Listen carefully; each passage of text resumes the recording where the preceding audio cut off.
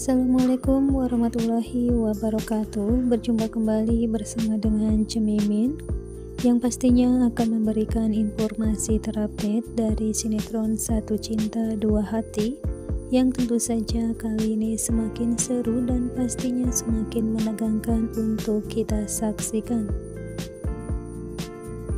Nah Sobat Mimin yang di mana di episode sebelumnya kita pun telah mengetahui bahwasannya di sini Fatir pun sangat begitu.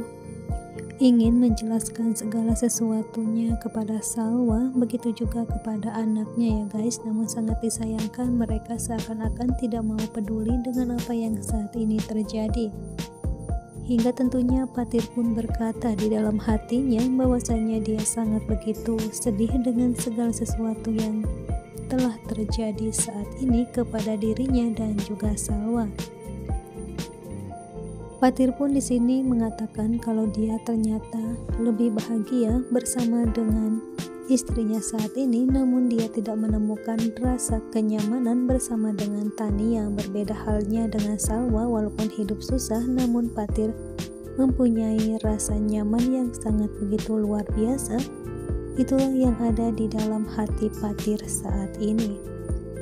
Dia pun ingin mencoba mengatakan segala sesuatunya kepada putri kesayangannya ya guys namun sangat disayangkan seakan-akan putrinya tersebut tidak mau mendengarkan lagi ayahnya, bahkan dia pun sudah menganggap ayahnya mati. Nah kali ini yang di mana ketika Salwa berada di kamar milik dari Patir bersama dengan Tania, dia pun sangat begitu merasa sedih karena bagaimanapun di situ Salwa mengingat segala sesuatu apalagi saat ini Salwa yang saat ini tentunya sudah merasa hidup bersama dengan putra-putrinya dia pun seakan-akan tak pernah mau peduli walaupun kerap sekali Salwa ini meneteskan air matanya melihat kebahagiaan suaminya dan juga mengalami penderitaan bersama dengan buah hatinya. Nah sahabat Mimin, namun tentunya sebelum lanjut ke isi video dan juga pembahasannya, bagi kalian yang baru saja bergabung di channel ini, silahkan tekan tombol subscribe dan aktifkan lonceng notifikasinya agar kalian tidak ketinggalan info-info terupdate tentunya dari channel ini.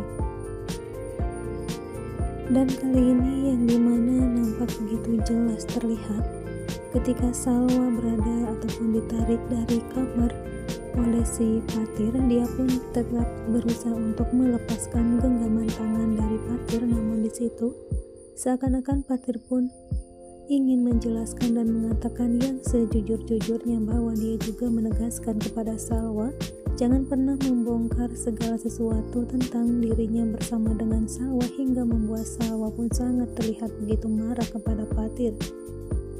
Di situ tentu saja dengan ketegasan, Salwa mengatakan jangan pernah takut karena bagaimanapun dia tidak akan pernah membongkar sebuah rahasia yang memang saat ini tengah terjadi terhadapnya bersama dengan Fatir di hadapan keluarganya.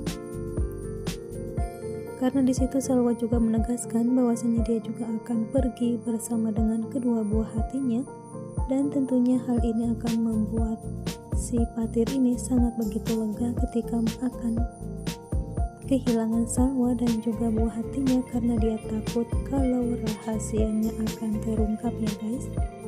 Nah sahabat mimin dengan hal tersebut tentu saja kali ini ketika Salwa akan keluar dari kamar hal itu menimbulkan rasa yang sangat begitu menakutkan bagi Salwa. Karena ketika Salwa membuka pintu tepat di luar terdapat Tania yang akan masuk ke dalam kamar milik Patir yang di mana di situ pun Si Tania ini mengetahui bahwasannya ada sosok yang baru saja keluar dari kamarnya hingga tentu saja terjadi kecurigaan yang sangat begitu mendalam bagi Tania siapakah sosok wanita yang baru saja keluar dari kamar suaminya yang saat ini tentu saja Salwa pun seakan-akan takut kalau dirinya akan kepergok oleh Tania.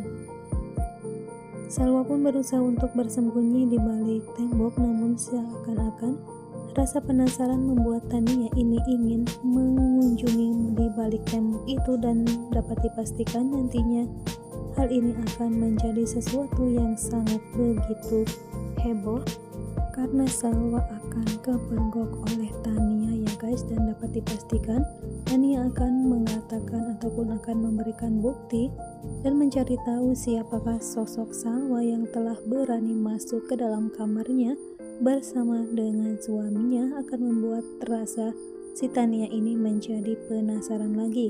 Nah kira-kira akankah Tania ini memergoki Salwa atau malah sebaliknya hal ini akan gagal kembali? Saksikan terus kelengkapan alur cerita dari sinetron Satu Cinta Dua Hati yang tayang setiap hari hanya di SCTV.